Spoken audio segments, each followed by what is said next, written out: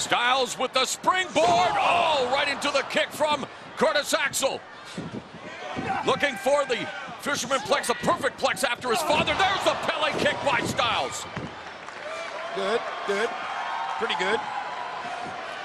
It's probably going to get pretty bad for Curtis Axel here. And he's setting him up for the Styles clash. AJ Styles looking to continue Oh.